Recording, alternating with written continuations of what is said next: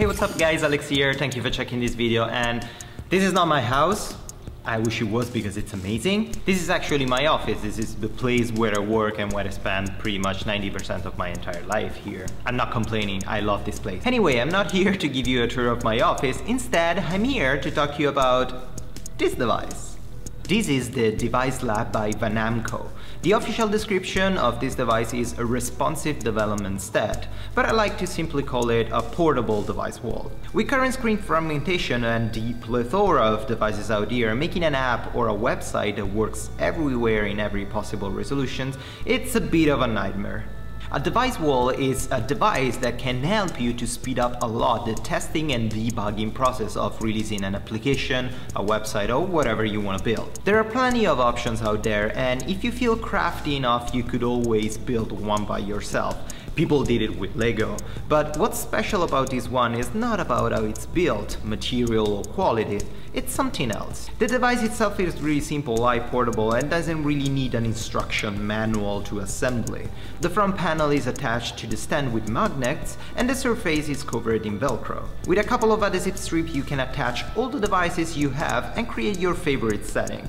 You have also these super handy gaps between rows where you can easily slip a cable and hide all the mess inside the device. Unfortunately, cables and a USB hub are not included in the package, but you can easily find it uh, pretty much everywhere. There are a couple of really cheap options on Amazon. A quick suggestion, try to use a USB 3 type of hub with maybe a charger included, so you can keep all your devices constantly on and charged as long as you want. As I said, the device itself is not mind-blowing, it's not something like incredible, but with just $160 you can have with the device also an amazing piece of software. This is GhostLab, a synchronized web development tool for fast testing and inspection.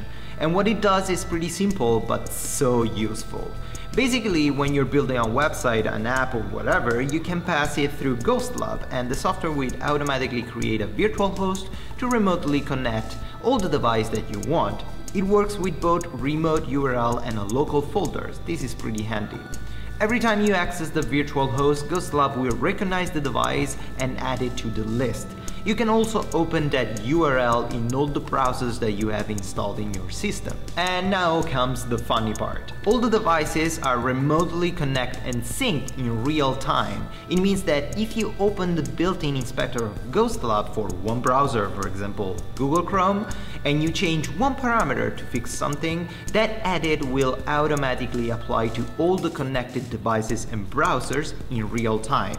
How many times did you fix something on a tablet resolution to just realize that you fucked it up on a desktop resolution?